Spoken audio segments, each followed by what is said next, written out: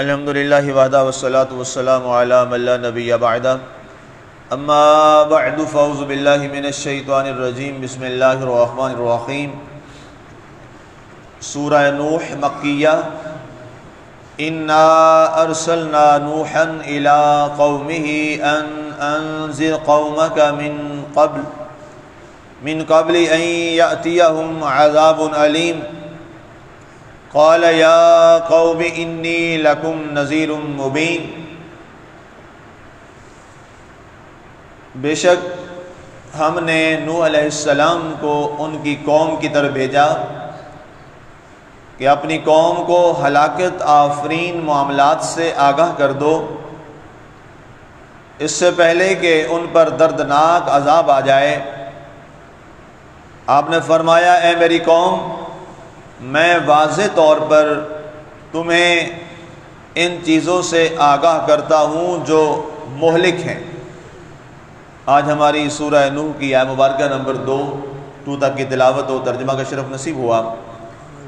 समीन सूरह मारज शरीफ की तफसीर मुकम्मल होने के बाद सूरह नूह की तफसीर का आगाज़ कर रहे हैं।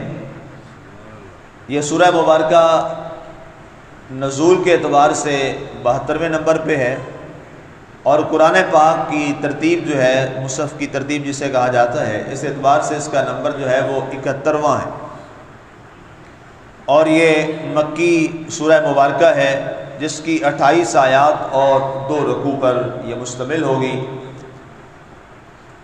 और ये हज़रत नू सलाम जिस के नाम के साथ इस सूरह मुबारक का आगाज़ किया है हमने इसी पहली आय मुबारक से इसका नाम लिया गया है। और हज़रत नू वो अज़ीम नबी और रसूल हैं, जिन्हें अल्लाह ताला ने रिवायात में ही आता है कि आपको तमाम लोगों के लिए नबी और रसूल बना के भेजा गया। लेकिन बहरहाल इसमें इख्तलाफ है, उस पर आगे जाके बात करते हैं। और इन पर एक बहुत बड़ा, इनकी कौम पर एक अजाब आया। जिसमें सारी कौम तबाह बर्बाद हो गई, सिवाय उन अस्सी लोगों के जो आपके साथ कश्ती में सवार हो गए और वो आप पर और अल्लाह की तोहहीद पर ईमान लाए थे। आपका अरसा तबलीग जो है वो बहुत लंबे अरसे पर मोहित है। बड़े अरसे तक तकरीबन एक हज़ार साल बताया जाता है।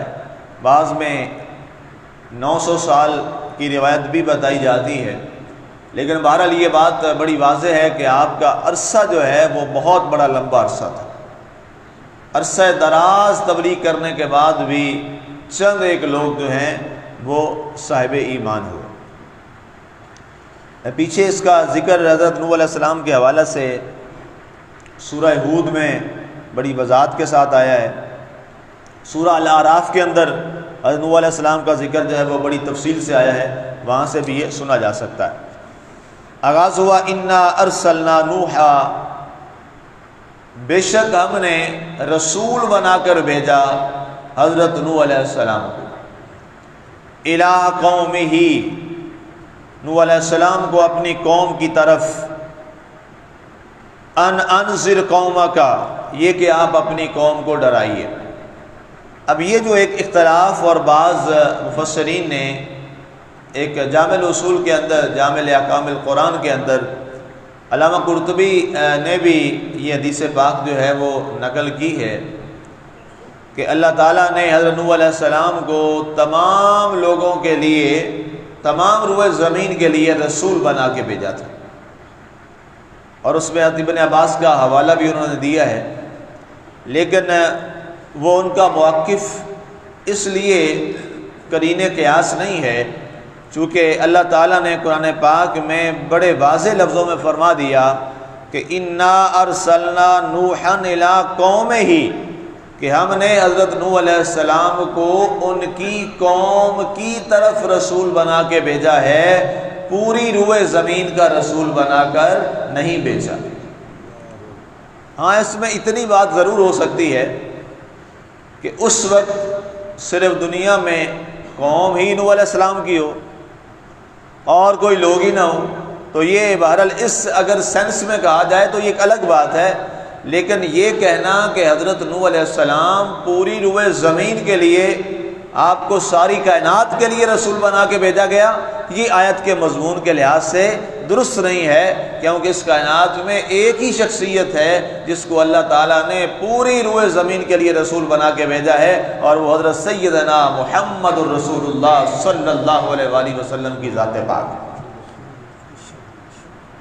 आपके अलावा कोई और किसी को ये शरफ़ और एजाज़ अल्लाह ताला ने अता नहीं फरमाया। आपको अल्लाह ताला ने तमाम कायनात का रसूल बना के भेजा। काफतलनास तमाम के लिए, सब के लिए आप अल्लाह के रसूल हैं। तो आपको जब अपनी कौम की तरफ़ भेजा गया तो इर्शाद हुआ, अन अनजिर कौमक। ए प्यारे सलाम आप अपनी कौम को डराइए। इससे पहले आज़ाबुन अलीम, कि इन पर दर्दनाक अजाब आ जाए। इन लोगों के ऊपर अल्लाह ताला का दर्दनाक अजाब आ जाए। इससे पहले कि इन्हें दर्दनाक अजाब से दो चार कर दिया जाए, आप इनको डराइए। फिर ये ना हो कि जब अजाब का वक्त आ जाए, फिर ये मुआफ़ी के लिए दौड़ें। जब उस वक्त ये फैसला हो जाता है तो फिर मुआफ़ी के दरवाज़े बंद कर दिए जाते हैं। कौला, या कौम, आपने अल्लाह ताला के हुक्म की तामील करते हुए इर्शाद फरमाया ए मेरी कौम, इन्नी लकुम नज़ीर मुबीन। बेशक मैं तुम्हें खुला डर सुनाने वाला, अल्लाह का पैगाम देने वाला बन के आया। अब जितने भी अम्बिया कराम आए हैं, चूँकि मुबलक के लिए जब वो एक ऐसे माहौल में आए कि जहाँ पर जहालत ही जहालत हो, जहाँ पर कोई इल्म की रोशनी और इल्म की शमा फिरोज़ा न की गई हो और कौम जो है वो अपने हिसाब व किताब से, अपने लिहाज से ज़िंदगी गुजार रही हो। और कोई आए और उन्हें उस जहालत से निकालने के लिए कोई नूर की शमा रोशन करे तो वो लोग जिन्होंने एक अरसा गुजारा हो जहालत में, एक अरसा गुजारा हो तारीकियों में, अब जब उनके सामने वो शम नूर जो है वो जलाई जाती है, उनके सामने वो बात रखी जाती है तो वो उनको सच्ची बात भी झूठ मालूम होती। इसलिए कि एक अरसा तक वो उस माहौल में रहे हैं जहाँ पर अंधेरा ही अंधेरा है, जहाँ पर तारीकी ही तारीकी है। कई दफ़ा बयान करते हुए जब कोई बात बयान की जाती है तो कई कई लोग मुझे कहते हैं, जी, ये हमने पहली दफ़ा ये बात सुनी है। ये बात हमने पहली दफ़ा सुनी है। तो एक नई बात अजीब सी लगती है। चूँकि वो बात सुनी नहीं होती। और कोई भी ऐसी बात जो आपने न सुनी हो और पहली बार आप सुने तो एक दफ़ा इंसान को एक जुम्बश सी जहन में आती है। इंसान एक दफ़ा के लिए सोचता है, पता नहीं ये ठीक भी है कि गलत है। अच्छा मैम तो सारी उम्र ऐसे करते रहे, अब ये बात ऐसे तो पता नहीं ये ठीक भी है कि नहीं ठीक है। आपको याद होगा आठ नौ साल पहले मैंने जुमे के खुतबे में एक बात अर्ज़ की कि रोज़ा इफ्तार करने की जो दुआ है, ये पहले नहीं पढ़नी, ये इफ्तारी करके पढ़नी। तो जनाब, इतने लोग आए कि जी, हम तो बाल भी सफ़ेद हो गए। हम तो ऐसे, पहले पढ़ते रहे और फिर, और टीवी पे भी यही चलता है और हम बाद में करते हैं।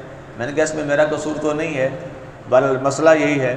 हती कि यहाँ तक, मसाजिद के जो हमारे इलाका के उलमा हैं, उनसे वो मसला पूछा गया। उन्होंने भी मुझसे रबता किया कि जी, आपने ये बात की है, जुमे में। मैंने कहा, जी, बिल्कुल की है और बात यही है। और उसको मैंने फिर दलाइल से साबित करके एक फतवा भी मैंने जारी किया। कहा जी, आपकी बात बिल्कुल दुरुस्त है। तो मकसद क्या है? बात वो ठीक थी जो मैंने की, और वही सही बात थी। लेकिन चूँकि नहीं सुनी गई थी, एक नई बात आई।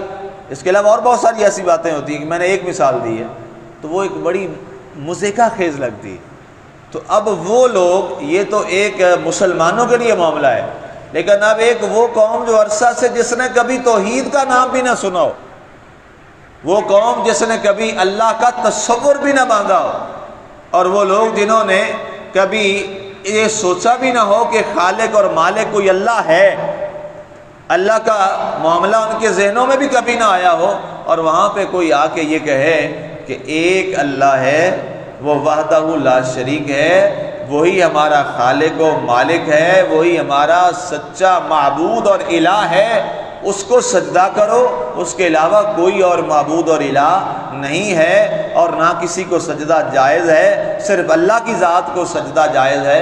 तो ऐसे में जब कोई आके ये बात कहेगा तो बताइए लोग क्या उसकी बात को कबूल कर लेंगे? नहीं करेंगे। नहीं कबूल करेंगे ये बात। एक अरसा लगेगा उन्हें कायल करते हुए, उन्हें समझाते हुए, उन्हें बताते हुए और उन्हें तोहीद समझाते हुए। दुनिया का मुश्किल तरीन मसला जो है, वो तोहीद है। ज़ाहिर है, जब भी कोई बंदा बात करता है तो वो कोई उसका हवाला होता है, कोई उसको सूरत दिखाई जाती है, ये चीज़ है। अब कहते हैं जी, अल्लाह है, और कोई अगर ये कहता है, दिखाएँ किधर है अल्लाह? अब अल्लाह को आप दिखा भी तो नहीं ना सकते।